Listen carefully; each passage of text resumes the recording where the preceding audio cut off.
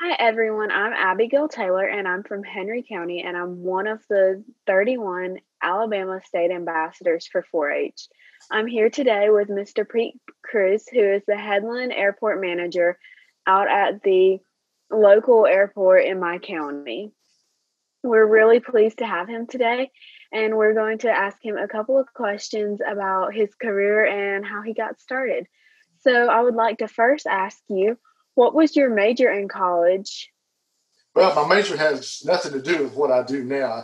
I went to Auburn University, War Eagle, and uh, majored in agronomy and soil. So I was uh, planning on working for the Soil Conservation Service. I was, uh, you know, in the agriculture field. I want to stay there. I've been born and raised you know, as a farmer son, and uh, you know, thought I'd probably continue on as being a farmer or working in some line of agriculture. Well, that's really cool. What got you interested in being a part of the airport life?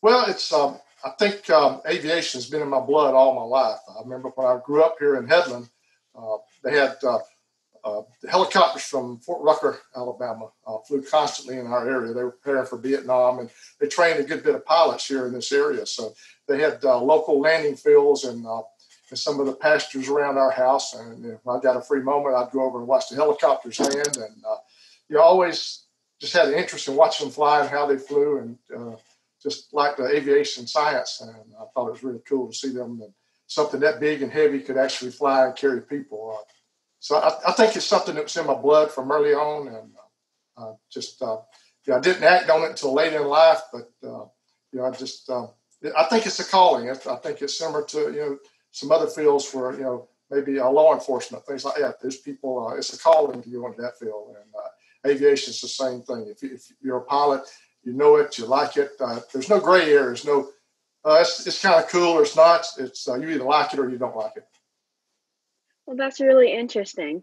So maybe can you give us a typical day in what your job is like?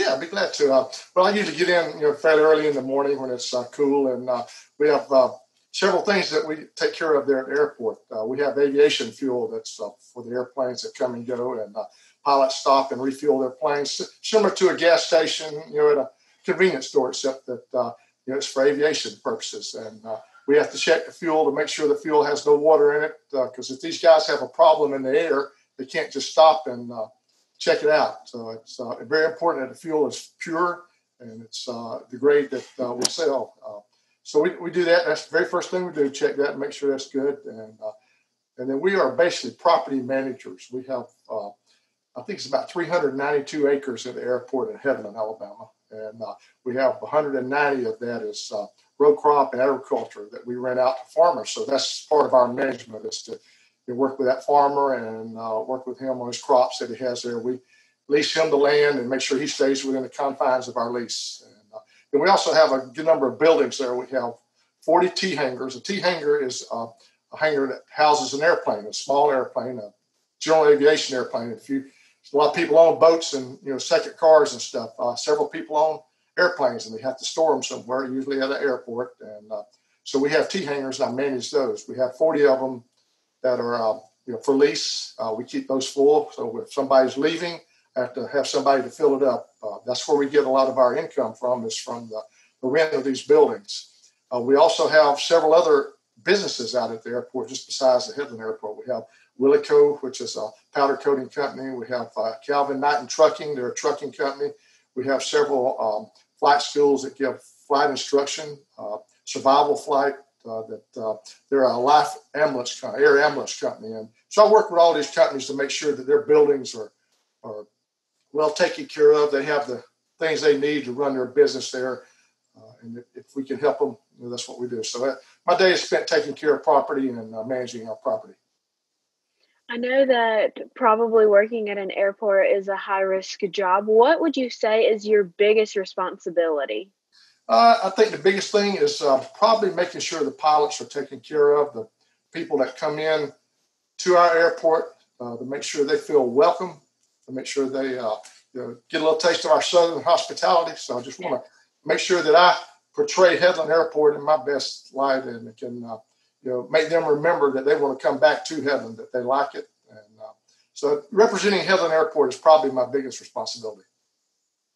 And moving on to the next question, what would you say is one of your favorite things that you get to do in your job?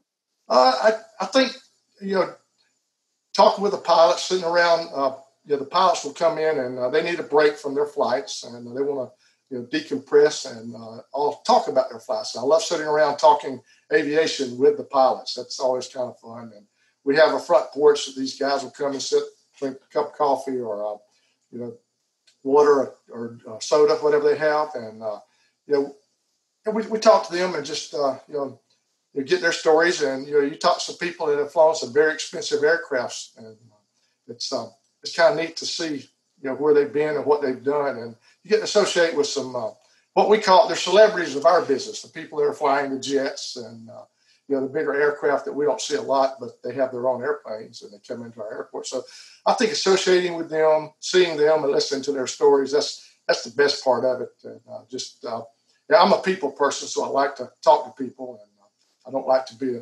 alone.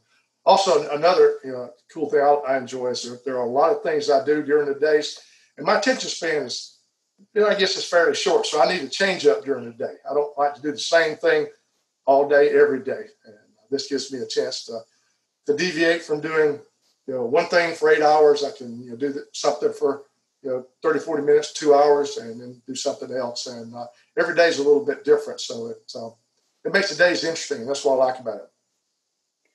That's really cool. What is something that you would tell someone going into your field?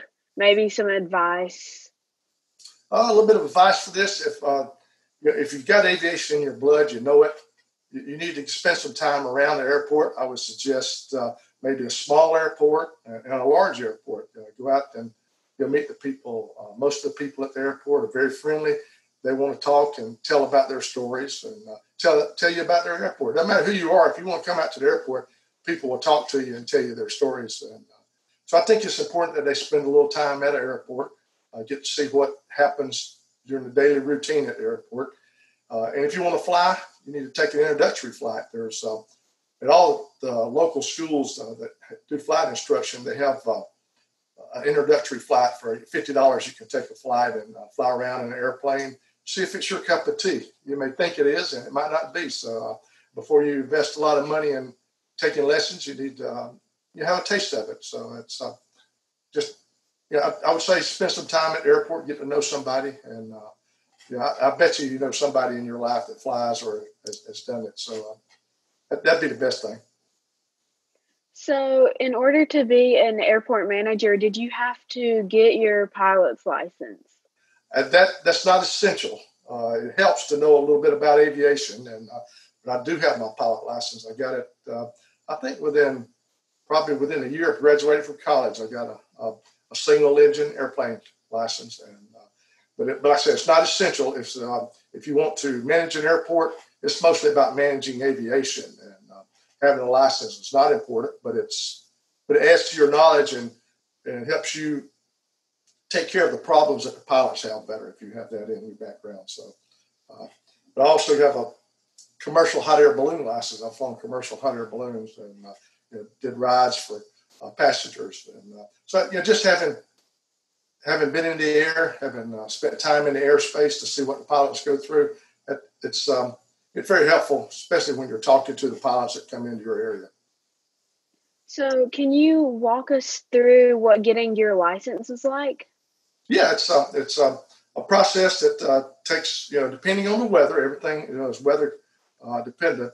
Uh, you want to fly, start flying whenever the weather is very good. Uh, you want winds slow. You want winds, you know, not choppy or, or gusty. And uh, you don't want any clouds in the area. You want a clear, pretty day. And but uh, you have to have 40 hours of flight inside in an airplane with an, and I think 25 of that has to be with an instructor. So you have to have a, you know, a certified flight instructor to help you teach you how to fly. And then once you get to a certain number of hours, you will solo. You will take the plane out by yourself.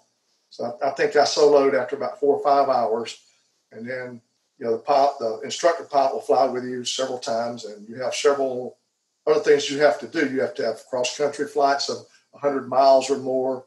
You have to have so many hours of not flying. You have to have so many uh, touch and goes, which is landing and takeoff. And, uh, just, you, you need to build time in an airplane and get comfortable with it. Uh, once you have the, uh, I think it's a minimum of 40 hours in the airplane, then you can take a written test, which is administered by the uh, FAA. It's a you know, FAA test, and uh, you have to pass it. Uh, and then after that, you pass the test, you have to take a proficiency check ride with a examiner, and uh, you have to go to where the examiner is. I don't think there's one in our area. I think nearest one's in Tallahassee, Florida, and uh, they put you through the, the gamut. They ask you a lot of questions about flying, uh, you know, airspace questions. They ask you questions about the machinery and uh, you know weather, uh, everything associated with flight. And you have to pass both those. So you have to pay, pass the written test and the proficiency test to to get your license. And then once you do that, you're issued a license, and your license never expires. You'll have it for the rest of your life, but you have to do certain things to stay current in your airplane. There's some, if you you'll have a once every two year biannual flight review that you have to go up with a uh, another instructor, and uh, he checks you out once every two years to make sure that you can fly. You also have to have a, a medical certificate, which means that you have to be physically fit and able and, and not a health risk in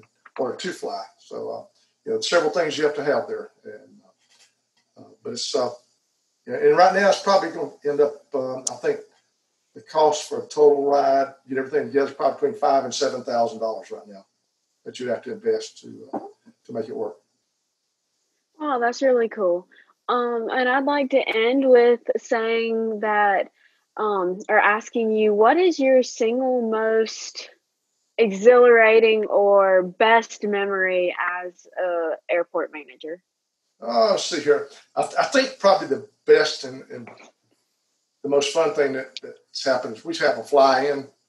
Uh, it's where we invite well, once a year. Uh, we haven't done a couple years, but once a year we invite people in the area. Uh, we send out invitations to fly in on a certain date. We usually a Saturday, and we have vendors here. It's like a uh, harvest day we have here in town, but we have it at the airport, and we we call it fly in. So people fly in from all over the area, and you can get you know 50 to 100 planes there uh, at one time, and they park all on the grass. It's just really cool to, to have them parked out there. Planes you never see and you haven't seen in a long time. Uh, friends come over with their airplanes, and uh, you know, the public can come out, walk around, touch airplanes, see the airplanes, and you know, maybe even get a flight. And uh, we normally have a helicopter company there to uh, give them rides, and uh, so just the thought of putting all that together, it's it's time consuming. It's a massive effort, but seeing it come off and uh, seeing everybody there having fun, that's, that's probably it. I think so. It's, uh, it's the exhilarating feeling once it's all over.